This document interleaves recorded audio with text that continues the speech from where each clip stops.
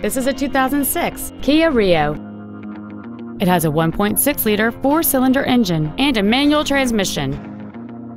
Features include air conditioning, a pass-through rear seat, a CD player, a passenger side vanity mirror, rear curtain airbags, rear seat child-proof door locks, and an auxiliary power outlet. Call or visit us right now and arrange your test drive today.